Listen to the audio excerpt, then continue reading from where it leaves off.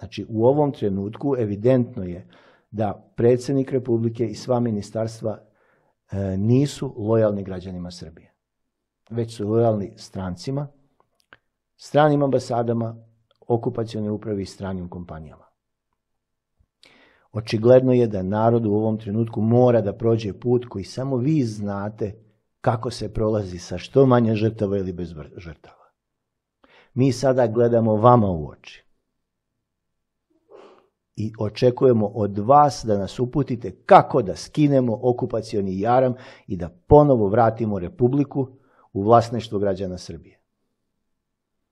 Mi smo potrošili, ako niste primetili, mi smo sva politička sredstva potrošili. Građani kažu, učinite nešto, učinite nešto. Šta da učiniš? U, e, da odeš u skupštinu, da podneseš zahtevi, da odeš u ministarstvo i da podneseš zahtev i tišina. Da odeš u tužilaštvo i da podneseš krivičnu prijavu protiv predsjednika Republike, da, i to smo uradili pre tri godine. I prema tome, sva politička sredstva borbe protiv okupacije Srbije u ovom trenutku su pri kraju. Možda su čak i potrošena. Mi moramo preći u novu fazu otpora. Ta nova faza otpora ne može biti uspešna ako policija nestane na stranu građana i ako bezbednostna informativna agencija nestane na stranu građana.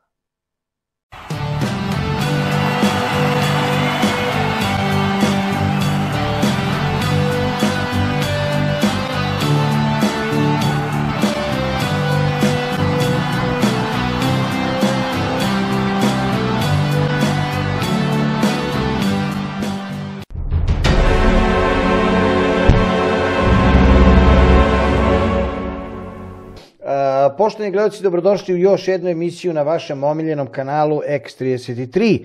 Sa nama danas profesor Duško Kuzović, inače i predsjednik Skupštine MOBA.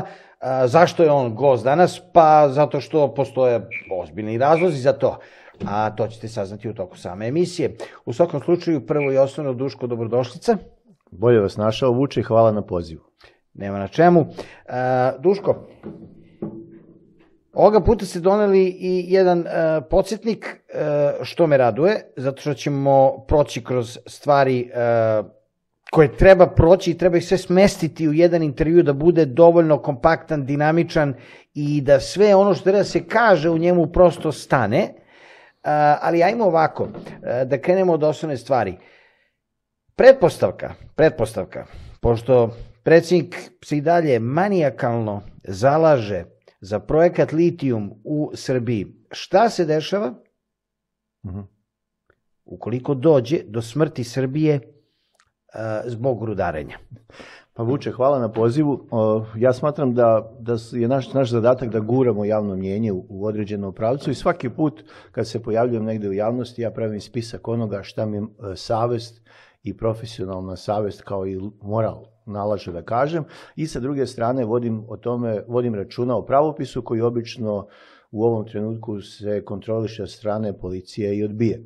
Tako da između onoga šta treba reći, između onoga šta se kažnjava ako se kaže, ja uvek pokušavam da nađem neku meru kako bih rekao ono što mi savest nalaže, a sa druge strane da baš odmah ne moram da, da zaglavim u, u, u tjumu ili u bajbok.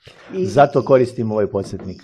Može, i samo da objasnimo gledalcima zašto su stvari napravili neki uvod. Pa zato što smo već pre meseci i po dana otprilike shvatili a, koja formulacija rečenice može da se protumači od strane režima kao napad na ustavni poredak, pa da se shodno tome a, taj pojedinac pritvori, da budu da dobije krivičnu da se iz igre, prijavu ili da mu se ono što se kaže sa seku nogi i da bude izbačen iz igre. Tako je.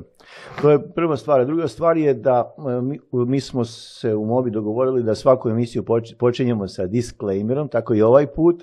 Dužan sam da kažem da u Srbija u ovom trenutku vri, vri zbog nemara e, kolonijalnog režima i kolonijalne uprave i zbog zapuštene situacije, jednostavno je na samrti, I, ali u svakom slučaju mi ne smemo da skrenemo pažnju sa glavne teme, a to je Kosovo i Metohija. Kosovo i Metohija i dalje ostaje za nas tema broj 1. Svako koji je učestvovao u predeji jednog miligrama državnog suvereniteta na Kosovu i Metohiji će odgovarati i u njemu zbog toga nema spasa.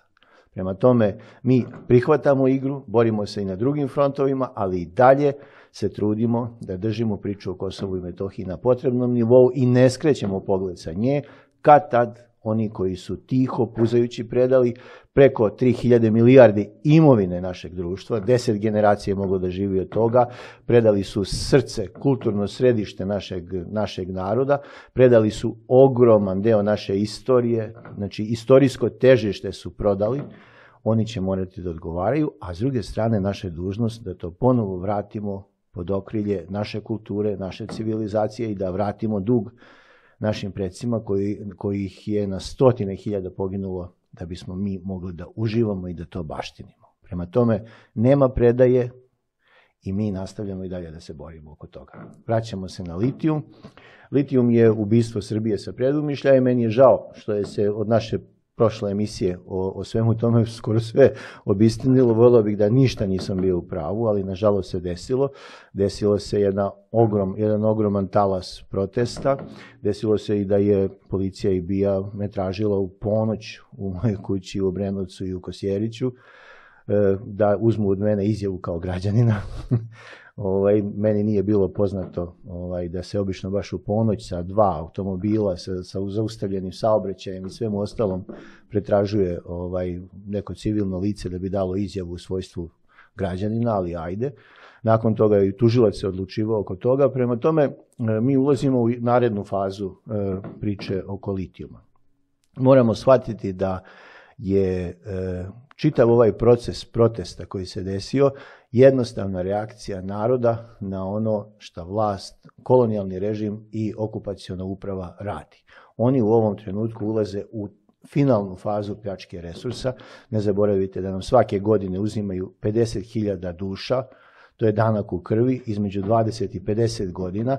Oni više ne dolaze da ih, da ih odvode. Zašto bi to radili kad su preko domaćih kvisliških vlasti napravili toksični u toksičnu klimu gde više ne možeš da živiš u Srbiji, tako da beže ne samo oni koji nemaju od čega da, e, da žive, već i oni koji imaju od čega da žive, ali više ne mogu da podnesu tako toksične uslove života. To je prva stvar. Druga stvar je da e, e, siromaštvo koje mi živimo, to je alat okupacionog režima. Siromaštvom se tera čovek da ne vidi šta, šta, šta se dešava oko njega, gura mu se glava na dole, a sa druge strane on ne može da primećuje šta se dešava sa njegovom zajednicom, bilo da je to grad, bilo da je to varošica, bilo da je to društvo ili čitava, čitava država ili čak e, korpus, e, srpski korpus na Balkanu.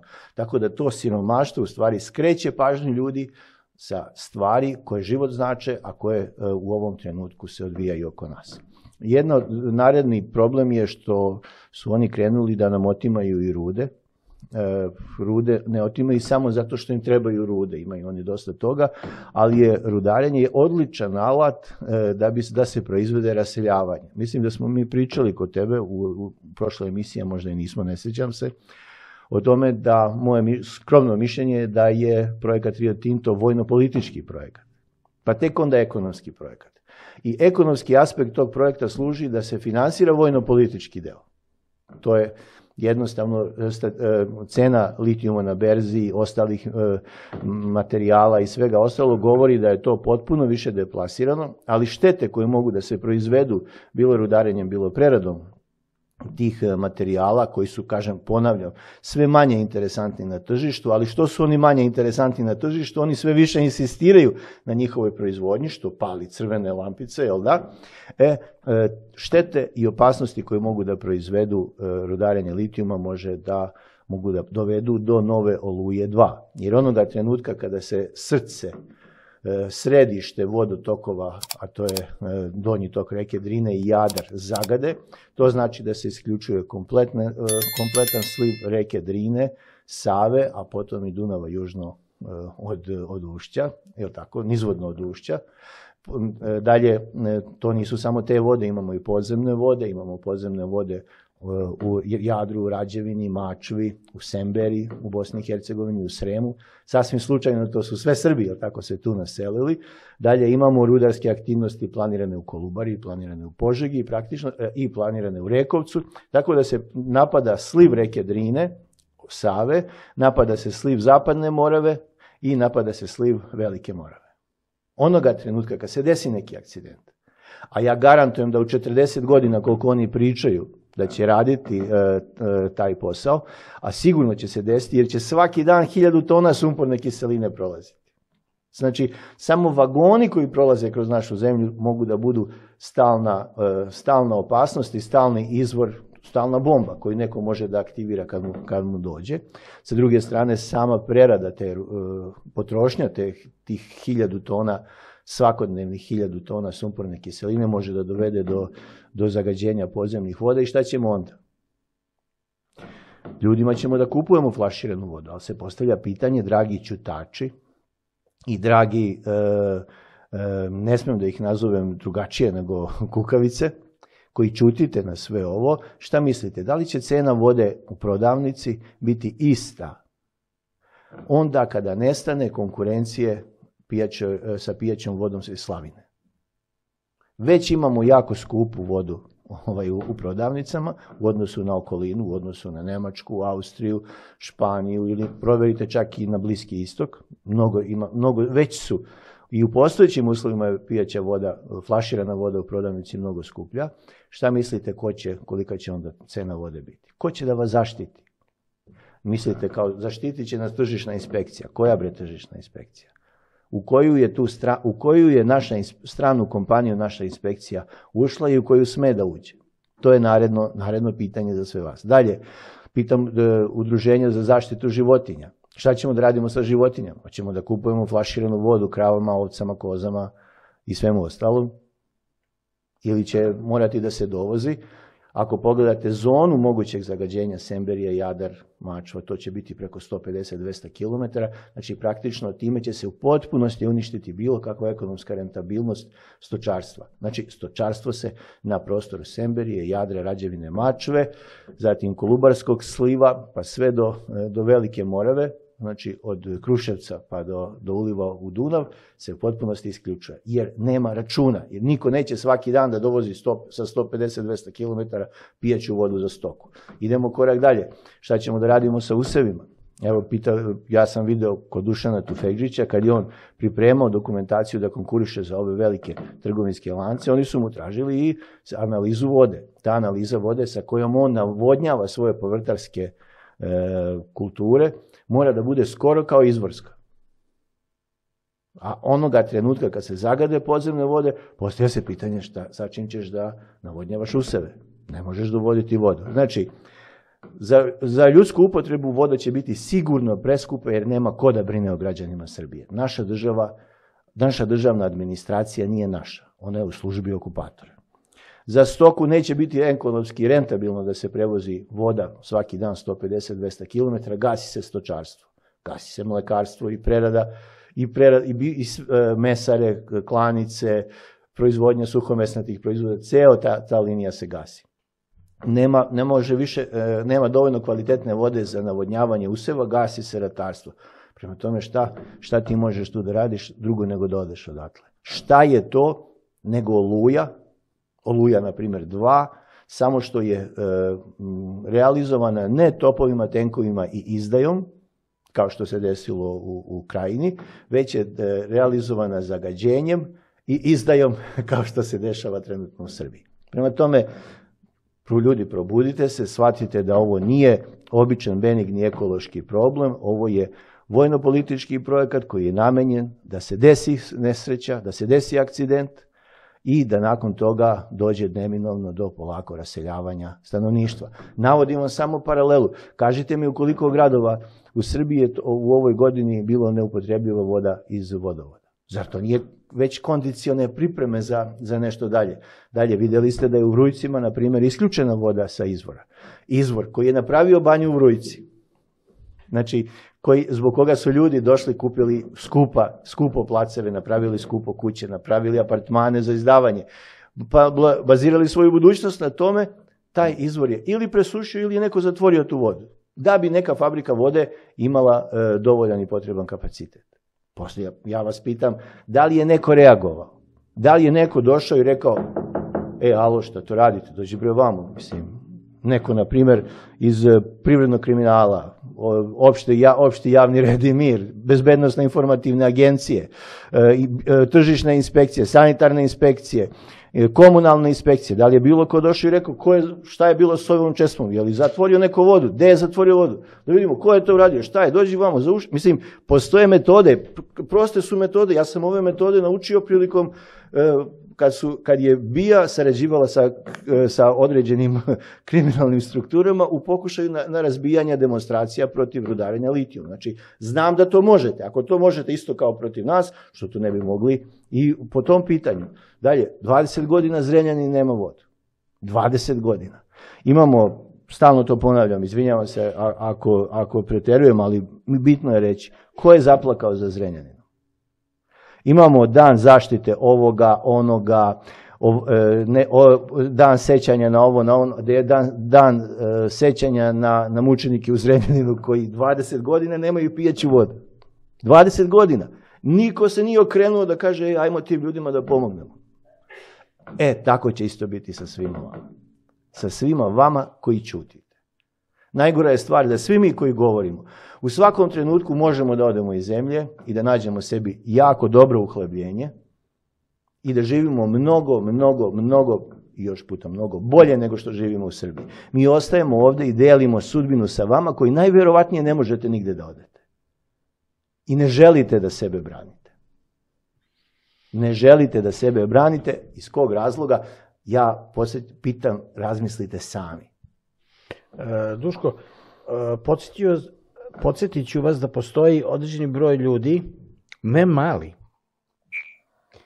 koji se i tekako brani postupcima, što je mnogo bitnije nego koristiti ovaj grandiozne reči i tako okupljati e, ljude na protestima iz kojih se ne donesu konkretni zahtevi, konkretni zaključci, pa mhm. čak ni fizička maršruta ljudi koji se okupe na protestu, ali svaki protest je vrsta političkog pritiska i tako da to stoji.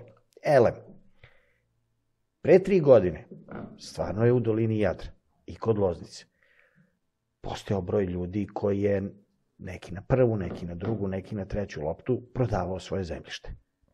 Rio Tinto sad vidimo da je uključena i ova kompanija koja je veća od Rio Tinto i tekako, Precious Metals, to je u stvari taj čuveni Dundee Precious Metals, koji pravi ovaj pokolj životne sredine na Homolju. Mislim, šta je interesantno? Zadnje tri godine, i mi dobijamo tu informaciju sa terena što postoje ljudi, niko, niko nije prodao pola ara zemlje Rio Tinto. Taj narod, tu sada imamo ozbiljan operativni problem kod ljudi iz Rio Tinta u sedištu ovde u Beogradu, a ozbiljan problem i kod Vučića, kod njegovog režima. Jer nudim se sada trostruko veće, četvorostruko veće cene. E sad su već stavili na neko se možda nečkao. Drže ga na oku i tekako, i njega, i njegovu porodicu, i sve. Brate, ne možeš da prodaš tu zemlju, jer ćeš da upropastiš moju kuću i sve nas koji živimo oko. Tako da tu imamo jedan jako dobar primer narodnog otpora koji se nije polakomio za parama, koji stvari shvatio šta se dešava. Da, e, ako, ako vam nije teško, otićete kod mene na Twitter nalog i naćete nekoliko obraćanja pre četiri godine e, na seoskim zborovima kada smo išli i obaveštavali ljude po po selima Požege, Kosjerića, Gornjeg Milanovca, Mionice, Valjeva, o tome šta se planira i šta se dešava sa e, sa e, istraživanjem oko litijuma. I upravo sam baš o tome govorio, da to ako, ti, ako su ovo dve parcele, ovo je međa između te dve parcele, ako ja dam za 25.000 koliko je onda bilo, e, da oni dođu i da zabuše u mojoj parceli, i nakon toga se izliju koje kakve toksične materije kao što se u 90% slučajeva dešava, bez obzira da li taj izvor bio zapušen, začepljen ili ne, i to se izlije u susednu tvoju parcelu. Ja odgovaram za štetu koju, koja je tebi načinjena sa bušotine iz moje parcele. Političari nam više ne trebaju. Političari su paraziti, oni uništavaju republiku i demokratiju. Novo društvo bez profesionalnih političara.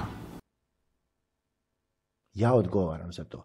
S druge strane, to što je bušeno ovde ne znači da će peta parcela ispod biti zaštićena. I ona može biti ugrožena jer niko ne zna kakva je struktura podzemnih voda. Idemo korak dalje. Niko nije rekao, e, ajmo da radimo procenu uticaja na životnu sredinu za bušotine, a ne samo za finalne radove, nego dajmo da vidimo te bušotine koje se prave radi, radi istraživanja nekih istražnih radova i one prave neku štetu podzemnim, e, sistemu podzemnih voda. Zašto i za to ne radimo procenu? To, je traž, to smo tražili pre četiri godine i do dan danas ništa se nije preduzelo na tu temu. Znači, moje mišljenje je da treba raditi procenu uticaja na životnu sredinu i za istražne bušotine, a ne samo za eksploataciju jer to pokazuje, otiđite u Gornje nedeljice, vidit ćete izvor ispod crkve u Gornjim nedeljicama koji je više neupotrebljiv. A u prvom srpskom ustanku je poznat po tome da je, da je, da je korišten. Razumete? Znači, jednostavno, e, ljudi trebaju da se probude i da, da shvate da ne postoji državna administracija. Državna administracija je u ovom trenutku pod kontrolom ministarstva. A ministarstvo, kako je kod vas, gospodin profesor dr. Pašanski, lepo rekao, 11 agencija kontroliše i čuva i obezbeđuje poslovanje predsednika Republike i ministarstava u e, vladi Srbije. Je li tako bilo? Rekao je dalje da Bezbednostno-informativna agencija služi da drži građane Srbije mirnim, da ne smetaju poslovima koji se obavljaju u vladi Srbije. Pa to znači da građani Srbije ne smetaju stranim investicijama i stranim projektima koji se provode preko vlade Srbije, iako ti projekti rade o glavi tim građanima Srbije, iako ti projekti bukvalno su protiv volje građana Srbije. Pa ja vas pitam, da ste bre ljudi normalni? Evo, morao sam da prevedem na savremeni srpski jezik Znači, bez velikih slova nema tačke, nema zareza, nema ništa. Ja vas pitam da li ste normalni. Znači, lepo je rečeno, 11 stranih agencija, moram da ponovim, izvini, čuva i obezbeđuje poslovanje predsednika Republike i ministarstava u Republici Srbiji. Znači, oni sprovode ono što se kaže i naloži iz inostranstva.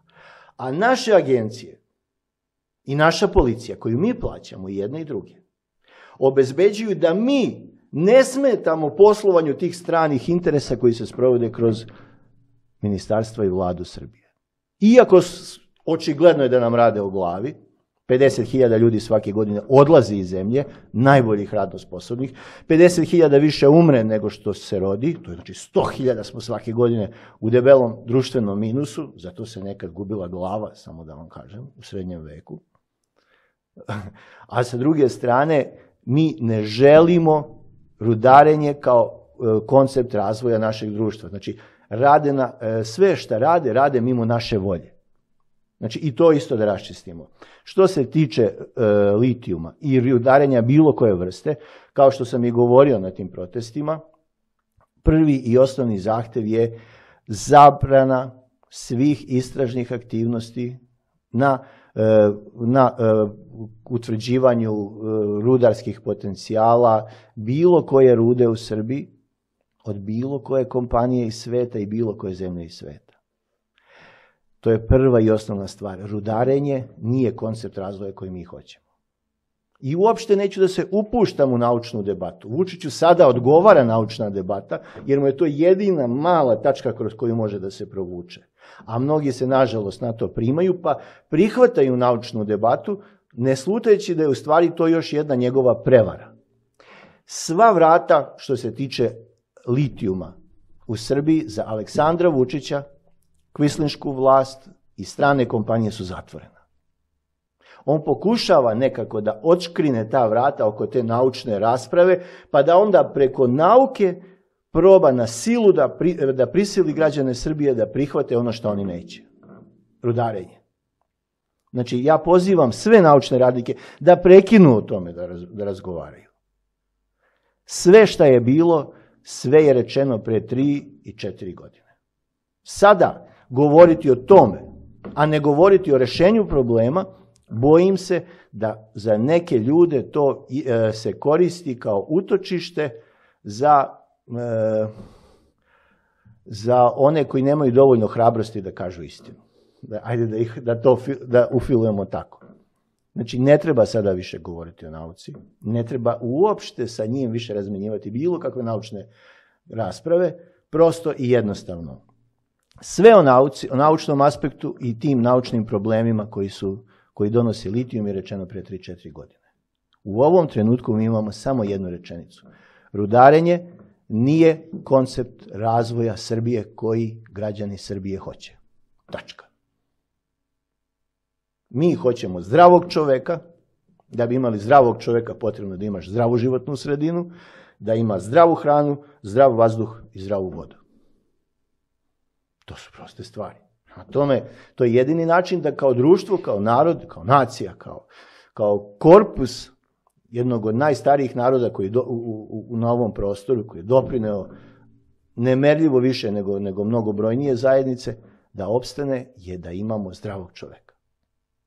I da imamo zdravu pamet, naravno, ali sa ovakvim bombardovanjem toga nema. Prema tome, pozivam naučnu zajednicu da prekine naučni dijalog sa Aleksandrom Vučićem, da se osvrne levo i desno i da vidi da su sva vrata zatvorena što se tiče litijuma između naroda i Aleksandra Vučića, stranih kompanija i kvislinške uprave uopšte i kolonijalne uprave, sva vrata su zatvorena, zaključana, neka čak i zazidana. Postojimo mi i postoje on i oni. Mi smo otprilike 80, 85, možda i 90% e, populacije, a ostatak su oni. Prema tome, ajmo da završimo tu priču, da izlučimo taj gnoj iz našeg društva,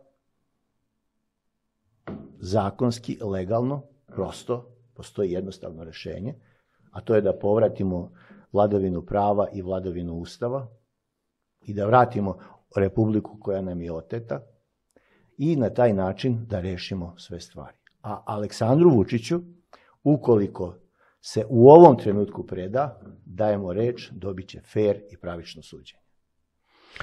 Prosto, kad, izvini Vuče, samo još dve rečenice. E, on stalno e, priča o tome kako njemu preti opasnost od naroda Srbije. Njemu i njegovoj porodici, od građana Srbije, odnosno od njegovih žrtava, u ovom trenutku ne preti nikakva opasnost. Nama je u interesu da on izađe na sud i da kaže svoju priču. On nije prvi u, u, našoj, e, u našoj istoriji. On je ko zna koji, koji upravo radi, sve, sve radi to što je on radio, još od, od majskog prevrata ovaj, sa početka 20. veka. Nama treba da on izađe na sud živ i zdrav i da priča ono šta je radio. Prema tome, on je nama neophodan živ i zdrav.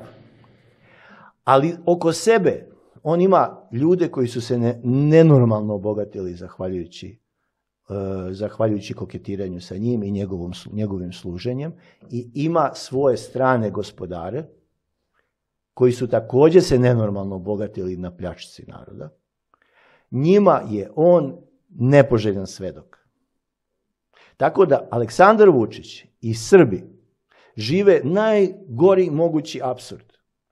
Da je krvniku najbezbednije u ovom trenutku u skutima pod krovom njegove žrtve. To nam se još nije desilo, ali mi smo očigledno istorijski narod i stojimo i pred još jednim iskušenjem koga moramo da, da pobedimo. Da se savladamo, da se molimo da on bude živ i zdrav, a da radimo na tome da ga izvedemo na sud i da on i njegovi saradnici, ali najpre on, jasno i glasno kažu narodu šta su radili. To će biti katarza. Ja garantujem da će narod toga, da će nakon toga srpski narod preći na naredni nivo što se tiče razvoja svesti. To je više nego sigurno.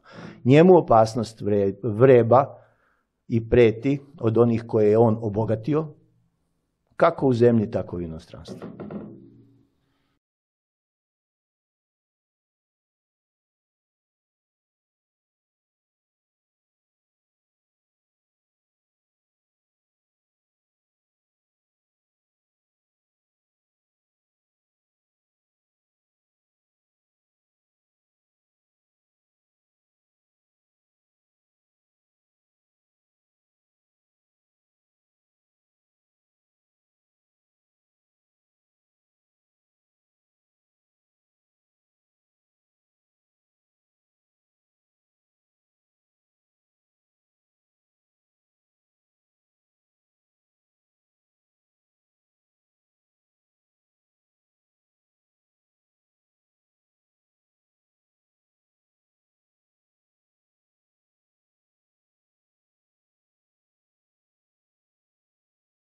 Drugim rečima, vi mu Duško obećavate, ne samo vi, nego mnogi koji se slažu sa vama, mnogi koji isto misle kao vi, a to je bez danjeg. Velika većina građana Srbije da podnese ostavku i da će mu se za uzvrat garantovano suditi pošteno. Tako je. Moba mu to garantuje. Znači, svi ljudi koji su u okviru mobe, koji su se do sada pojavili da su u okviru mobe, i one koje još nismo otkrili, a koji su takođe u našem u, u, u našoj galaksiji, ajde da kažemo tako, mu to garantuju. Nama je u interesu da se ta iz, istina iznese na sto. Jer narodu je potrebna katarza. Ovo je ko zna koji put da nam na vlast dolaze ljudi koji se zovu i prezivaju kao vi i ja, a u stvari nema većih krvnika od njih. Ono šta, šta smo mi preživeli u zadnjih 14 godina vlasti, to nisu radili ni Austro-Ugari ni Nemci. Znači ja vam govorim kao neko čiji, ko nema ni jednog dedu, jer su svi i stričeve po, tom, e, po toj liniji, jer su svi stradali u drugom svetskom ratu od ruku ne, e, nacista ili od ruku njihovih satelita kao što je Hanđar divizija. Duško, bio sam pre neki dan a, na severu Srbije i ovaj, neću naravno spominjati tačno o kome se gradu ra, radi, ali lep, lep ovaj, grad na severu Srbije, onako maltene na krajnjem severu. I često se desi da sad neko mi priđe, kaže Vuče, pratim e, vaš kanal, upoznamo se, neko zatraži selfie, naravno, nikakav problem. Obično popričam sa ljudima i stvarno, pošteni gledalci, ja moram da kažem sve one koje sam upoznao, koji prate kanal X33. Ja sam ponosan i cijela naša redakcija ovaj, kakvu publiku imamo. Na kraju krajeva to je, ja sam bio ponosan na publiku Helm Castle. To stvarno kad vam priđu ljudi pa krenete s njima pričate, to je divota. Stvarno mislim, iz svih profesija. Tako da, onako, bez ikakve lažne skromnosti, ovaj, ponosan sam na to, a, a, a ovaj, s druge strane sve vas pozdravljam. I kad god me vidite, slobodno priđite se, upoznamo da pričam. U svakom slučaju, radilo o pripadniku Ministarstva unutrašnjih poslova gleda redovno X33. Ne gleda samo njega, gleda i druge patriotske podcaste. Kaže, 90% vuče sada protiv Vučića.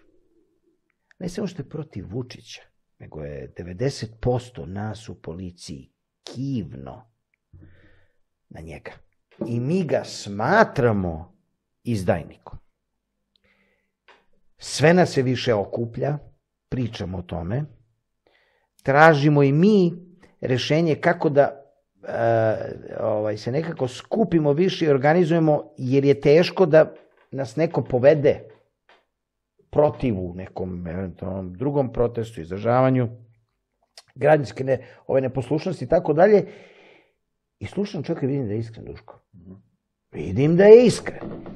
Apropo toga, pitanje, da li vi imate informacije? Da li ima neki i ole zavidan broj poštenih ljudi u srpskim službama. Odmah da odgovorim ima. Kako u bezbednostnoj informativnoj agenciji, tako u policiji, tako u vojno-bezbednostnoj agenciji, tako i u vojsci. Znači, postoji. Ali je problem u tome da i dalje e, nemamo sa naše strane dovoljno jasnu i artikulisanu grupaciju koja može da postakne te ljude prvo da se aktiviraju. S druge strane, oni bi svojim aktiviranjem e, privukli sebi još sigurno identičan procenat prema našim procenama. Neću, izvinjavam se gledalcima, ne mogu da kažem procente, ali ovaj, znači, e, verujte mi da, da se taj broj, znači onih koji su spremni da reskiraju ne samo platu, već i svoj život, i oni koji su spremni da im se pridruži, približava polovini približava polovini. U policiji, u bezbednostnoj informativnoj agenciji je to malo manje. Ali ovo hoću da kažem. U ovom trenutku, ko pravi glavne probleme? Prav, glavni problem pravi državna administracija.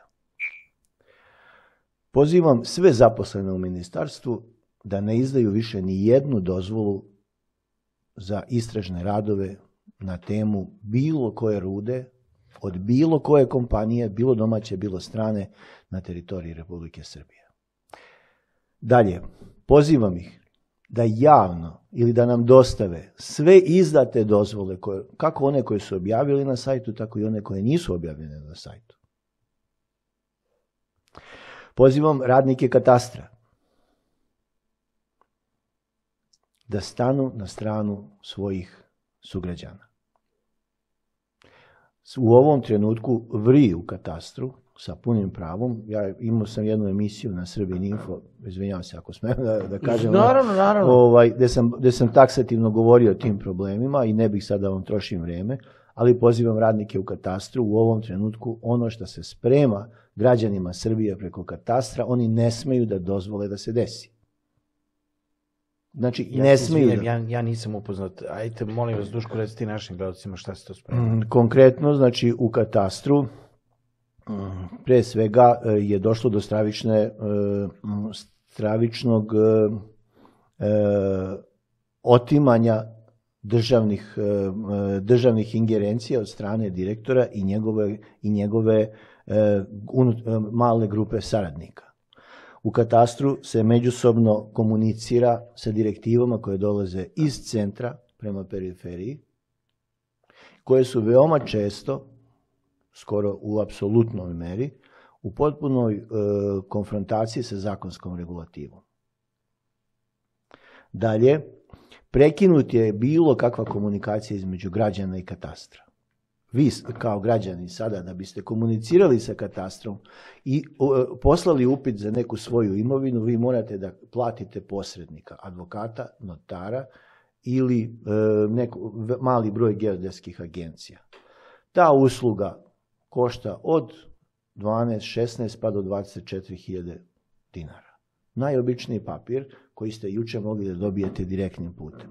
Očigledno je znači, da se sprečava i priprema teren za nešto što će se desiti, a što će izazvati veliki revolt građana, pa da ne bi ti građani navalili na šaltere katastra, onda su umetnute ovi advokati, notari i izvršitelji i ostale, i ostale te E, službe indirektnog terora, tako da građani više ne mogu da idu u katastar, već da idu u ovaj preko advokata. Tu dolazimo do pitanja državine. Mnogi predmeti se sada predvode u, sta, u status državine, a mi znamo da 2028. godine se sprema da se svi predmet, sva imovina koja je u statusu državine prevede na Republiku Srbiju. Imajte to u vidu, imajte u vidu da se trenutno, koliko je meni poznato, razmatra prodaja nacionalnih parkova i mnogih drugih e, državne imovine. Znači, do tada će verovatno biti prodat ovaj deo državne imovine, a tada se planira i naredni korak. Prema tome, oni krune, znači, ono što e, dva veka topovima, bajonetima, puškama i krvlju nisu uspevali, sada uspevaju na olovku. Posetite prodavnicu TV Svetla na sajtu www.pokretisvetlo.com Odnosno na, na jedan klik miša. To je sramota. A toga se ne bi des, to ne bi moglo da se dešava da postoji neko u katastru koji, to, koji sme da kaže dosta, ne može ovako dalje. Vraćamo se na takav takav sistem koji je, jer katastar je u funkciji građana Srbije, a ne u funkciji stranaca kao i svaka druga državna, državna služba. Pozivam znači, sve zaposlene u državnim službama da dobro razmisle na čijoj su strani. Na strani građana ili na strani političke uprave koja je, kao što smo malo čas konstatovali, pod apsolutnom kontrolom stranaca. Kad smo bili oko litijuma i oko te priče, ja se e, izvinjavam ako vraćam se ponovo na tu temu, ali mislim da je bitno, E, glavno, te, glavno pitanje koje većina bezbednostnih službi i policije postavljala ljudima je zašto učestvuješ na protestima. Nemoj da učestvuješ na protestima. Ja pitam, da li to zna... Kome su to postavljali? Kad? O, to sam video i čuo ljudima koji su bili trebali da se pojavljuju da govore na protestima ili da se uopšte pojavljuju na protestima protiv rudarenja litijuma.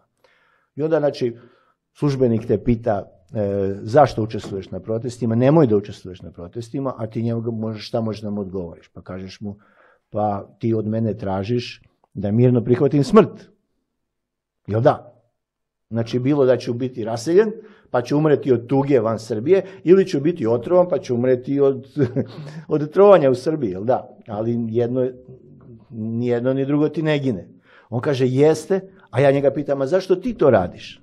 Pa kaže, ja samo radim svoj posao. Znači, ti radiš svoj posao da bi primio platu, da bi kupio sinu patike, a od mene tražiš da mirno prihvatim smrt mene, moje supruge i moje dece i e, da se, da se od toga ne branim. Da bi ti kupio patike. Pa dođi, ja ću ti kupiti patike. Pa se bori sa mnom.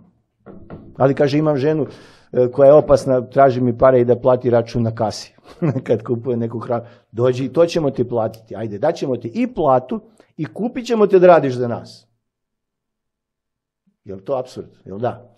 Sličan absurd je kao što sam predlagao da nakon izbora mi potkupimo naše političare, a ne da ih potkupljuju stranci. pa da rade za njih, nego kad se završe izbori, mi smo trebali njima očigledno ponuditi neku lovu da bi oni radili za nas, jer izbori očigledno nisu dovoljni. Prema tome, pokušajte da shvatite situaciju iz te perspektive. Mi se borimo za život. Mi se borimo da ostanemo živi i zdravi, kako mi koji se borimo, tako i oni koji se kriju po ćoškovima, po kuloarima i koji šalju poruke podrške, ali ne smiju da izađu u javnost. Tako i za one botove koji rade za pare i koji svakakve bljuvotine nam šalju, ali mi im opraštamo to jer znamo da će i on, njima biti i njima će se morati suditi jer botovi su u strašnoj meri usporili otpor prema, e, prema okupaciji pod jedan i pod dva botovi su u velikoj meri doprineli da već ima previše žrtava sa naše strane u odnosu, da, da nije, u odnosu na situaciju bez botova. Prema tome, bot koji kuca na tastaturi, koji zavađa ljude, sprečava dijalog, razumete, koji širi e, e, lažne informacije, uljuljkuje stanovništvo da će biti sve u redu, to je vojnik okupacijonih trupa koji sprečava građane Srbije da pravovremeno reaguju, a okupatoru smanjuje troškove njegove okupacije i povećava efikasnost u našem istrebljenju. Prema tome i botovi moraju na sud kao i Aleksandar Vučić. Dalje pozivam pripadnike bezbednostne informativne agencije da stanu i da razmisle na koju stranu hoće da idu. Ovo je vreme, ja, meni je žao i znam da ću zbog ovoga sigurno ovaj, ponovo morati na razgovor, ali ja to moram da kažem. Meni to savest nalaže. Znači, u ovom trenutku evidentno je da predsednik Republike i sva ministarstva e, nisu lojalni građanima Srbije, već su lojalni strancima, stranim ambasadama, okupacijone upravi i stranim kompanijama. Očigledno je da narod u ovom trenutku mora da prođe put koji samo vi znate kako se prolazi sa što manje žrtava ili bez žrtava. Mi sada gledamo vama u oči i očekujemo od vas da nas uputite kako da skinemo okupacioni jaram i da ponovo vratimo Republiku u vlasništvo građana Srbije. Mi smo potrošili, ako niste primetili, mi smo sva politička sredstva potrošili. Građani kažu, učinite nešto, učinite nešto. Šta da učiniš? E, da odeš u skupštinu, da podneseš zahtevi, da odeš u ministarstvo i da podneseš zahtev i tišina. Da odeš u tužilaštvo i da podneseš krivičnu prijavu protiv predsjednika Republike, da, i to smo radili pre tri godine. I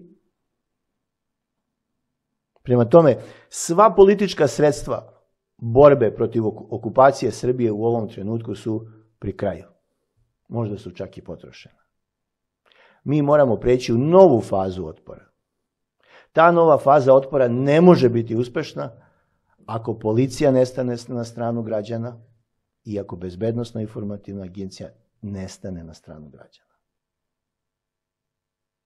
Možemo mi i bez njih. Možemo mi i bez njih. Ali onda oni trebaju da znaju da više nisu deo ovoga naroda. Već su deo političke uprave, političke policije, koju je imenovao okupacioni upravnik Republike Srbije i koji joj ne misli nimalo dobro. 50.000 ljudi više umire nego što se rodi, 50.000 ode, prodato je tržište, nemamo nikakvu domaću proizvodnju, penzioni fondovi su nam uništeni, e, kompletan budžet je potpuno, e, potpuno falsifikovan, tonemo, e, već smo duboko potonuli u dužničko ropstvo, pitanje da li možemo uopšte normalno da izronimo, tržište je prodato, nemamo zdravstvo, nemamo obrazovanje, Znači, razara nam se društvo, suština našeg, naše zajednice, tradicija i sve one vrednosti koje nas okupljaju i čine nas da budemo to što jesmo Srbi, je napadnuto, pa čak i e, Srpska pravoslavna crkva u ovom trenutku je u veoma diskutabilnom stanju.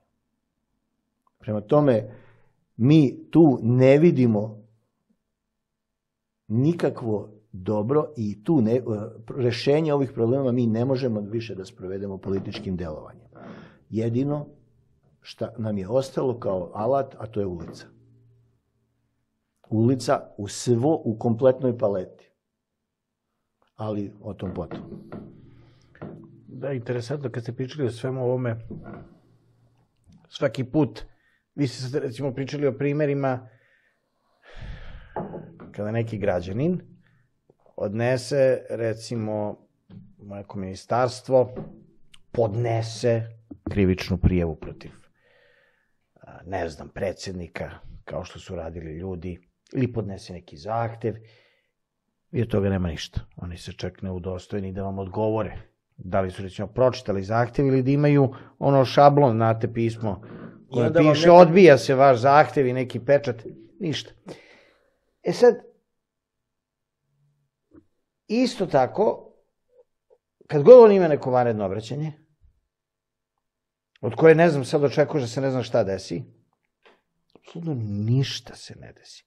Kaže neke opšte stvari, a, više ne može ni da izmišlja fraze su mu postale iste ili koristi one iste fraze, recimo one koje, koje ovaj, je stavio tamo u naftalim pre tri godine, koristi sada i tako dalje. Sada je na ovoj zadnjoj konferenciji za štampu kada se Bog zna kako najavljivalo svim medijima povodom dešavanja na Kosovu, Metohiji. Ne možemo da proglasimo okupaciju uh, tog dela Srbije. Čoveče, šta, ra, šta, zašto si uopšte zakazio varednu konferenciju za štampu? Ništa nisi rekao, nikom.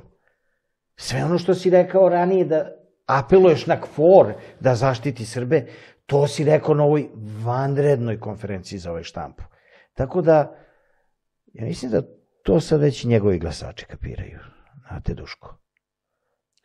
Mm, ono što sam primetio, jednu fantastičnu prevaru koju naša istorija nije zapamtila, a to je da naslov i tekst na koji se odnosi taj naslov se u potpunosti razlikuju konferencija za štampu na kojoj će e, se proglasiti okupacija dela teritorije Republike Srbije. Možda, tako možda, je pisalo. Da, možda. možda. A nakon toga on objašnjava da to ne može da se desi. Zašto? Zato što su ljudi istrenirani da imaju kratak, kratak, kratko vreme koncentracije. I oni pročitaju naslov i misle da, da u tom tekstu piše upravo ono što stoji u tom naslovu.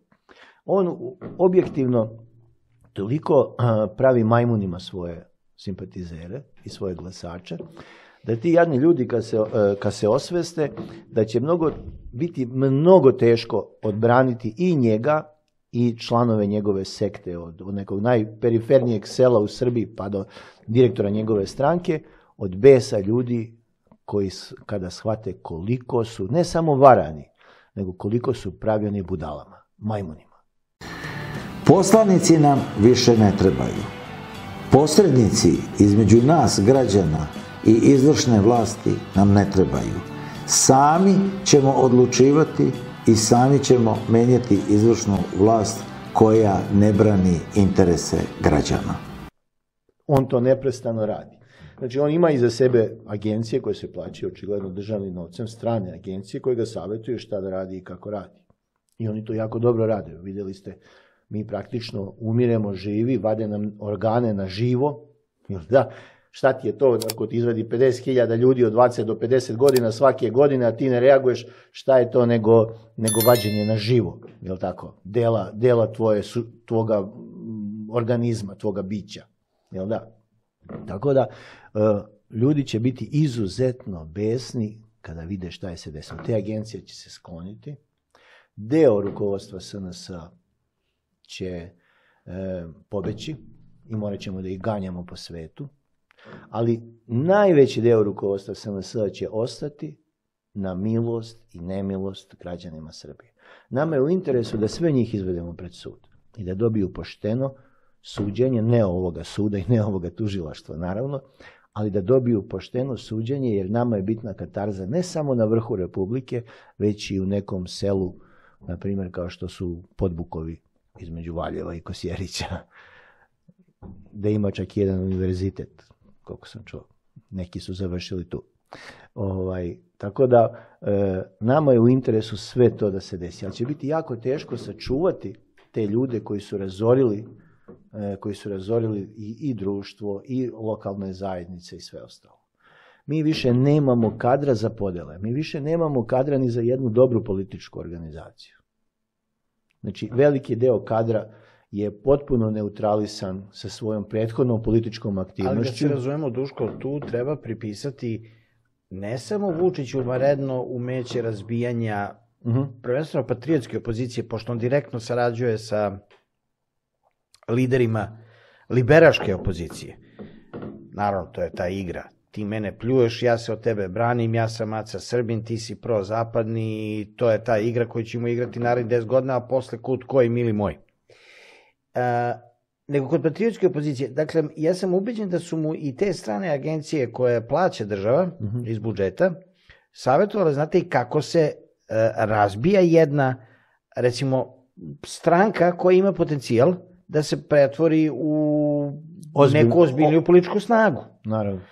I sada su mnogo, šta, šta hoću da kažem, mnogo se mistifikuje ta Vučićeva moć da je navodno on fantastično uništio uh, stranku Vuka Jeremića, stranku Vuka Obradovića, stranku ove Milice, Stamenkovski stranku ovoga Jovanovića i tako dalje i da ih je sve razbucao na svoje načine, da je Aleksića odavde ovog, odavde ovog, da...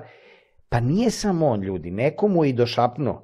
Jer ne vidim ja da on ima toliki baš potencijal da tako uništava svaku patriotsku stranku. I sad, naravno, kad vi pričate s ljudima ovde u Srbiji i sednete sa nekim ovako koji onako je politički pismen čovek.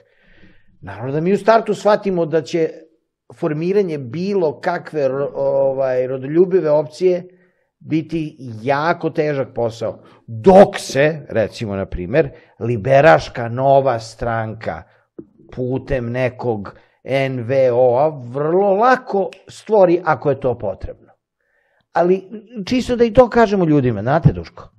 Naravno, Aleksandar Vučić, ja ponavljam stalno, znači ima agencije, strane agencije koje ga vode kroz čitav ovaj proces okupacije i likvidacije građana Srbije.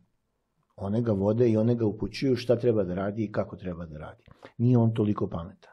On jeste jeste inteligentan na jedan način, ali sa druge strane ja njemu oduzimam pravo da, da, da to može da se nazove inteligencijom, jer inteligencija je ako upotrebiš na dobrobit nekoga neke grupe ljudi, a on to koristi samo na dobrobit male grupe ljudi oko sebe i, i stranaca za koje je prihvatio da radi.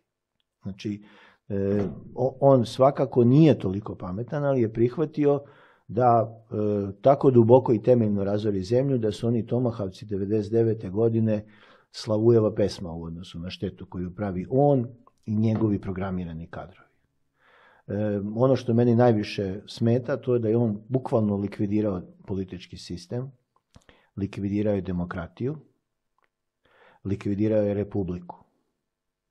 Republiku je pretvorio u jedan autoritativni, autoritarni sistem koji u ovom trenutku uveliko već prolazi prve faze tiranije. Aleksandar Vučić u ovom trenutku već gazi prve korake tiranije. I to je sasvim razumljivo. Znači, onoga trenutka kad krene vlast da se ljulja, kada, kada počnu da se bude blokovi, znači populacije i da shvataju koliko su prevareni i izigrani, mora da počne represija prema građanima. Jer represijom, povećanjem količine straha u ljudima, oni će se još više i duže od- održavati. Nadaju se tako. Stoga građani trebaju da budu svesni da će biti glavni uticaj znači, na strah. Bilo da je to bezbednost, na primjer, pa da ti pošalje policiju ili bezbednostnu službu na vrata, da ti pošalje u preduzeće, pa da onda drugi dobiju strah zbog tebe, pa da te izluče iz, iz svoje firme, da bi oni opstali da bi nastavili da ćute, jel da? I, a da ti dobiješ strah od toga da li ćeš da preživiš. Duško, ali ajte kažem ljudima kako se boriti protiv tog straha. Mm, Evo sad, up- upravo smo krenuli, kre- mislim da krećemo ka, ka to, u tom pravcu. Znači, oni će na sve načine generisati taj strah. Taj strah će biti i na ulici. Znači, tako što će se dešavati neke ružne stvari, po, mogu da se dese, izvinjavam se, kondicional, kondicional. Mogu da se dese neke ružne stvari na mestima gdje su naša deca. Pa znači da pored toga što imaš strah To je već sad ekstremna od mera, ali okej. političkih, e, pa ja samo pravim analogije sa nekim drugim tiranijama koje su artikulisali i kontrolisali agenti CIA. Znači ništa, ja ne vjerujem da će oni kod nas imati neki manji, e, blaži taj hodogram ovaj, nego što su imali u, u nekim svojim kolonijama koje su, oni, koje, su, e, koje su bile u istoj fazi. Dalje moguće je da bude nesigurnost na ulici. Da, to je jedna stvar. Evo vidjeli smo sada je, ovu priču sa Hezbolahom i e, sa ovim e, 2100, koliko, 3000 ljudi koji su povređeni, tako što su im eksplodirali uređaj za komunikaciju. Koliko sam ja ovaj, Da su to sinoć pageri. zadnje informacije, to je bilo 5000 ljudi. I još gore. Jo, ovaj, još gore. Najinteresantniji, i svi su bili povređeni. Neki E, bez neki su prstiju, postali a ovaj, neki doživotni trajni invalidi, invalidi, da. invalidi, jeste, a ukoliko do sad znamo 10 ljudi je poginulo. E pa možemo i to da prokomentarišemo kada smo pričali o tom, kada je već tema to uterivanje straha, pa ćemo se vratimo svakako Mhm. da ponudimo gledalcima rešenje kako se osloboditi od tog straha. A, dosta sam pričao, ovaj, sinoć i juče razmišljao i sa nekim kolegama o tome šta se u stvari desilo. A, ako je zaista u pitanju taj, e, ta pattern, e, ta, ovaj, e, ne, ne, izvinjam se, hemijska... kojim je prelivena baterija, litijum. Jeste, taj, ovaj, ta, taj neki hemijski substrat ili, ili šta je već, ili te nekoliko nekih hemijskih komponenti koji su pretvoreni u prah, pa su stavljeni u te pagere, baš te, jer da se razumemo, u Libanu imaju problem sa, e, sa, sa mobilnim mrežom i sada ne, ovaj, ne ulazim u razlog zašto i kako, i manje više svi koriste te pagere, a sada su bili baš ti neki pagere koji su išli tim pripadnicima, ne, e, sve u svemu što ću kažem, Duško. Da ne dajem sa gledalcima sve. Me malo mi je nategnuta ta priča sa eksplozijom. Pazite, ne znam, ne znam e, koliko je legitimna. Bolje bi bilo da je tako, jer ja sad počnem da razmišljam ovako. To je zastarela tehnologija. A, Čekaj, čekaj, šta ako krenu da tvoj pregrejavaju? telefon ima, ima bateriju. Da, ali ima i bateriju. Ako su mogli da, da hakuju pager koji ima, koje, koje, koje tehnologije pre mobilne telefoni, pa ti onda nisi siguran ako imaš onu na, Nokiju, na jednom telegram, ciglicu. da, na jednom telegram kanalu iz Libana, pošto imam prijatelja tamo, doduše na američkom univerzitetu, ali šta da radimo. Dobro. Ovaj, jedna digresija, vidio sam danas vest da e, bolnica pri američkom univerzitetu u Beirutu je dobila pre sedam dana e, nalog da hitno zameni sve pagere i do, dodeljeni su i neki drugi pageri. I tamo za sada nije bilo žrtava. To je prva stvar. Druga stvar, ono što znam, to je da... A da, pa onda, onda, onda je onda je više ta mogućnost da je stvarno ovaj, e, stavljena vrsta eksploziva. Znači, e, sada druga stvar je, znači, e, oni, e, za sada je naj, za mene najživotnije tumačenje, da su se određenom hemikalijom prelili ili posuli sa, posuli baterije, koje su onda, do, e, koje su, e, nakon toga su krenuli da šalju ogroman broj poruka, došlo je do zagrevanja baterija, ta hemikalija aktivirala verovatno bateriju i došlo je do eksplozije te baterije. To znači da i ovi naši telefoni u nekoj situaciji, u nekoj varijanti mogu da verovatno reaguju tako. Ja bih onda krenuo korak dalje, pa bih pitao naše kompanije koje, e, mobilne kompanije koje nude telefone, da li postoji takva opasnost kod nas i da nam daju neke pisane garancije da se to neće desiti i kod nas, jel da? Naravno. Dalje- ili, ili, dalje ili, ili da uvoznici- mi onda imamo da mi onda imamo neke otvorimo telefon čim ga dobijemo, damo nekom da, da neko analizuje. Ali ti ne možeš sa telefona da izvodiš bateriju. Ne, ne, ne, ne, ne Da nego da se vidi, da se detektuje da li postoji neka vrsta, neke sub, sub, substance u okviru telefona. Jer ne Da. može baterija da, ona može se zagreva koliko hoćeš, ali ne može da eksplodira ako nije Upravo u- to. aktiviran u sintezi sa ovaj nečim. Upravo to. Znači, jednostavno, mislim da trebamo da gledamo i da učimo. Naravno. E, nažalost, naša bezbednostna služba je, čini mi se, zaspala pre nekih 40-50 godina. Ona i dalje štiti politički režim, iako je umeđu vremenu taj politički režim postao sluga kolonijalne uprave, strane kolonijalne uprave. Znači, mi trebamo da gledamo i da učimo i kao društvo trebamo da pokrenemo tu akciju, da se obratimo uvoznicima mobilnih telefona i svih uređaja, tableta, laptopova, mislim, tek u laptopu kakav haos može da bude sa onakvom baterijom i sve ostalo. Znači, e, fotoaparati, kamere i sve ostalo mogu da budu sva ta sredstva koja imaju bateriju, koja može da detonira, mogu da budu potencijalna e, potencijalno ubojna sredstva. Možda ne bi bilo zgorek Duško da pomenimo i električni automobil. Jao, nemojte to, to nam je leteći automobil električni ili samo električni koji ide po zemlji. To su nam, jer mi smo u zlatnom dobu, pa još nismo baš to napravili tu e, nijanse, znate. E, slažem se, naravno, nego pokušavam da, da akcentujem e, tu bitnu stvar tako što pokušavam da budem ironičan, a izgleda nisam uspeo. Ovaj, tako da o tome trebamo da razmišljamo i trebamo da gledamo i da učimo. Mislim, bez obzira šta mi mislili o pokušaju, o tom e, agresiji Izraela na Gazu i na Palestince i na sve ostalo, mi moramo da gledamo kako oni to rade. I od njih trebamo da učimo. Oni su izuzetno profesionalna vojska. Nama treba onakav nivo profesionalizma. Ne da mi usmerimo ga ni prema kome, već jednostavno kao društvo moramo da imamo maksimalno, da, da, da radimo na profesionalizmu, jer smo, jer smo mi brojčano mali narod i mi moramo da otvorimo sve kanale društva, da iz svakog pojedinca izvučemo sve ono najbolje, da mu podstaknemo, da ga podržimo, da se razvije, jer samo na taj način možemo opstati. Mi nemamo broj i masu pa da se valjamo, da, da pravimo pukove vojske koje će da jurišaju sa bajonetima. Na kraju krajeva i to, i to je vreme prošlo. Prema tome nama treba obrazovanje i treba nam aktivno da gledamo svet širom otvorenih očiju, a mi to ne radimo. Ali da se vratimo mi na, naš, na našu ovaj hodogram. Znači, suština je da, da će oni krenuti sa tim verovatno preventivnim hapšenjima, informativnim razgovorima, sve češćim. Nakon toga će se dešavati možda i neka prebijanja u pritvoru ili zatvoru, ubistva u zatvoru. Posjećamo se u zadnje dve godine, početkom ove godine je bilo ubistvo onoga 74-godišnjeg čoveka u zatvoru, o, koji je došao da služi kaznu jer nije platio neku, neku prekršajnu prijavu, i, e, prekršajnu kaznu i na kraju završio u zatvoru u kome je bio ubijen. E, 74 godine imao, mislim da je iz Mladenovca. I pre toga je bilo još nekoliko ubistava u zatvoru. I ja to gledam u stvari kao jedan, jednu pripremu ljudi na sve to šta se, e, šta se ovaj može desiti. Isto tako i tih 180 ili 280 atentata kojima, na koje se poziva Aleksandar Vučić, e, koji nisu, nijedan nije otkriven, nijedan nije doveden do, do kraja da se kaže taj i taj je pokušao atentat tako i tako na taj i taj način, jel da? To je u stvari samo priprema e, javnosti za neke druge stvari koje se mogu desiti. Na primjer, nestanu Vuk i Duško i kažu pa kojih Pa ne znam, pa ono, mislim, šta, kad, kad za predsjednika 280 atentata nismo uspeli da nađemo ko je, gde sad da tražimo za njih dvojicu. Znači, jednostavno, samo treba malo proširiti fokus, kadar, vremenski i gledati te procese koji oni rade.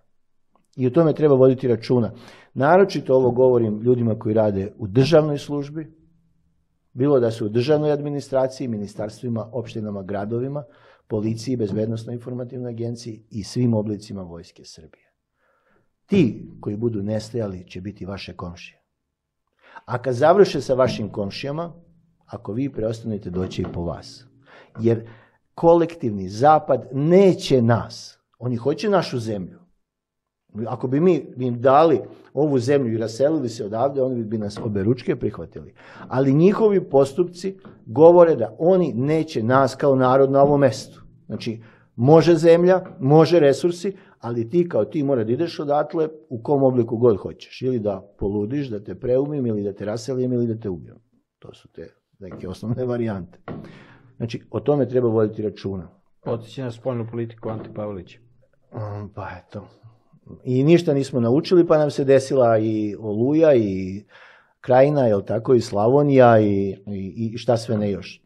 Dalje, u jednom trenutku, kako si sam konstatovao da je, da je policija e, postala sve svesnija na, na stanje u društvu, i ja to primećujem.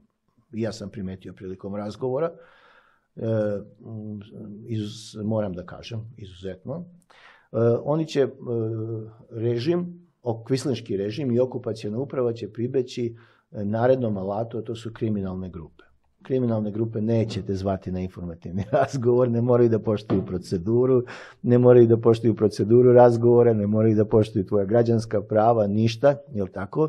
I te kriminalne grupe mnogo širi de, oblik dejst, obliki, oblike delovanja mogu da imaju, zato na kraju krajeva imamo toliko privrednih društava koje su povezane sa kvazi navijačkim grupama. Znači jedna je stvar biti navijač, a druga stvar očigledno je biti u određenim e, kvazi navijačkim grupama koje služe za neke druge stvari.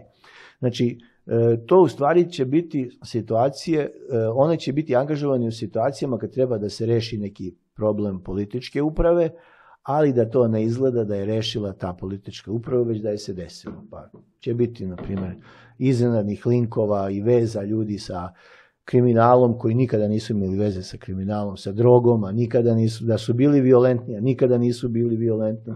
Tako da te kriminalne grupe i dalje stoje u, u, u pozadini. One ne samo da imaju dovoljan nivo fin, ob, obim finansiranja iz već po, započetih poslovnih projekata, već imaju i one milionere i milijardere koji su pripremljeni upravo za tu neku novu situaciju. I mi na to, na našem putu ka slobodi moramo biti svesni i na to moramo imati adekvatan odgovor. Znači, batinjanja, fizički napadi, krađe, provale u stanove, paljevine, stanova, automobila, ubistva, to sve ono što može da se primeni. A što su već delom primenili na gospođi Trišić? ako znate... Oko... Da, da, da, poznato mi je da, to. Ali ovaj, e, ne Trišić, bože, Nataša Prišić, ali ovaj Nataša, pošto imam sad neke obaveze i ne, jedno vreme ću biti ovaj, malo i van Beograda, igrom slučaja tako, to, tako se zadesila životna okolnost, nadam se da ću ovaj Natašu mo, moći da ugustimo. Mislio sam ovaj da je pozovem ranije i, i tako dalje, ali zadesilo se tako kako se ovaj zadesilo, ali nadam se da ćemo u dogledno vreme moći da uradimo jedan lep intervju. U svakom slučaju, Duško, ona je doživjela da je, su je sluge Zapalili. režima su zapalile kuću, mislim. Ja vidio sam. Kuću su je zapalili.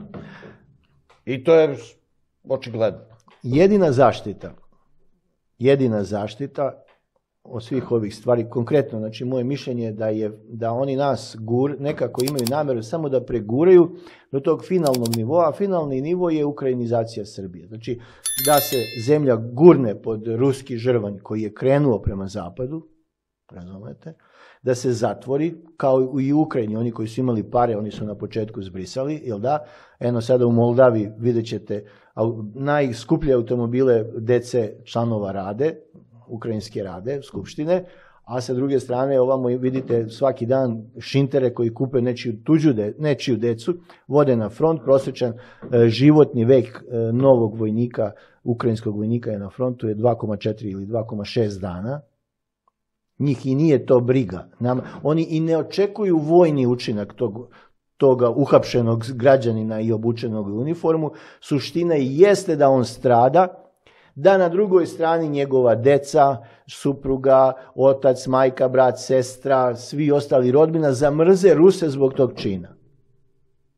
To je cela suština priče. Znači njih baš briga što će neka porodica da izgubi jednog ili pet muških članova porodice. Bitno je da ostatak porodice zamrze Ruse i na taj način da proizvedu novi e, taj efekt. E, oni pokušavaju da nas preguraju nekako tu fazu i da jednostavno nas instrumentalizuju, da naše majke i naši očevi daju svoje, svoju decu, a oni da daju kredite i oružje i da se zajedno borimo protiv Rusa. Jel da? Taj film neće gledati. Pa ja, ja se nadam da, da će se ljudi probuditi. U ovom trenutku ne postoji kritična masa, zato je bitno da se ljudi probude. Nama ne trebaju svi da se probude, ali nam je dovoljno, ali nam je neophodno da četvrtina društva bude svesna i bude spremna da brani sebe i da brani one koji nemaju hrabrosti da se brane. Ali ovaj, ono što, što hoću da kažem, hoću da kažem da, mm, da jednostavno E, oni će pokušavati neke druge vidove, kao što su paralisanje društva, isključivanje interneta, isključivanje mobilne telefonije. Niste će doći do toga, Duško? Pa na koj, kako ćeš na jednostavno... U, nekoj, u, u nekoj većoj meri. Pa u onome trenutku kada krenu masovni nemiri, kako ćeš da razbiješ koordinaciju ljudi između Subotice, Beograda i Užica? Mislim, nemaš radio stanice, jel tako, ne možeš da ih koristiš, prekineš mobilnu telefoniju, prekineš fiksnu telefoniju i oni mogu samo golubom pismonošom da se koordiniraju. Zato oni koji govore juriš, juriš, juriš, ja ih samo pitam, pa evo kako ćete da obezbedite komunikaciju ako internet i mobilna telefonija budu u prekidu? Šta ćete da radite? Ko će da snosi odgovornost za te žrtve? Znači, ovo, kako bi rekli, sloboda nije, ići u slobodu nije isto što i cveće brati, prema tome za ovo su nam potrebni ljudi koji su osposobljeni za te stvari, zato i ponovo pozivam Bezbednostnu informativnu agenciju i policiju da pomognu svom narodu koji u ovom trenutku umire i da prestanu da služe strane gospodare. Njihove komšije umiru. A, a bezbednost Njihov posao je bezbednost naroda, a ne političkog kartela koji je na vlasti. Bioprotektori su naučno dokazano najbolji antistres harmonizatori i najbolja zaštita od svih vrsta zračenja. Više informacija na sajtu www.pokretisvetlo.com S druge strane, taj politički kartel uopšte ne radi stvari koje narod hoće. Evo samo na, na temi litijuma pogledajte šta se dešava. Pogledajte na temi koje kakvih, na primjer, šta ja znam, e, zakona o referendumu ili zakona o rudarenju ili zakona o katastru ili milion drugih stvari, to građani neće. To građani neće. Neće takvo društvo. Prema tome, vi trebate da izađete i da pokucate na vrata odgovornih, a ne da kucate na vrata onih koji ukazuju na problem. Nadam se da, da jasno govorim. Jer to mi je kao kad ti ne radiš posao 30 godina, baviš se nekim svojim poslovima, dođeš na posao, primiš platu i sve ostalo i onda ti neko kaže, e, slušaj, imaš tamo taj taj problem. Ti umjesto da kažeš, e, brate, hvala ti što si mi to rekao, ukazao si mi, idem sad to da sredim. Ne, ti napadneš onoga koji ti je to rekao. I, i njega pozoveš na odgovornost umjesto da, da vidiš kako da popraviš taj segment društva, a inače srpsko društvo je potpunosti zapušteno. Znači, mi smo razoreni da ne možemo biti kao kulturna zajednica, kao, kao ljudska zajednica, kao tradicionalna zajednica, kao verska zajednica, kao e, etička, moralna, znači na svim sektorima se u ovom trenutku se vodi specijalni rat protiv nas. A ti od svega toga nigde ne reaguješ, nego reaguješ na one koji su protiv rudarenja litijuma. Ubistva Srbije rudarenjem litijuma. Tako da, otprilike mislim da smo tu e, saželi tu temu. A što se tiče e, same te priče oko Aleksandra Vučića i one njegove objave da će možda da proglasi okupaciju dela teritorije, e, mi smo pripremili deklaraciju i aneks te deklaracije, deklaraciju o proglašenju dela teritorije Republike Srbije okupiranim, poništenju svih sporazuma, usmenih, pismenih, na, e, prećutnih i svih ostalih koje, koje su postignuti nakon rezolucije 1244 i definisali smo one koji su okupatori na Kosovu i Metohiji. Sve one države koje ne poštuju rezoluciju 1244 su okupatori. Znači, jednostavno, to je takva situacija. Suština je da treba proglasiti okupaciju Kosova i Metohije, jer to je tapija. Mi u ovom trenutku ne možemo možda vratiti tu teritoriju ponovo pod našu kontrolu, resurse i sve ostalo, ali u perspektivi jednog dana, možda mi, možda naši sinovi, možda naši unuci, jednog dana to veoma lako mogu rešiti. Mnogo je jednostavnije nego, nego, što se to sada, nego što sada izgleda. Ali mi, ono što moramo da uradimo, to je da prekinemo, da finansiramo i pomažemo naše neprijatelje. Ali to možemo i kasnije.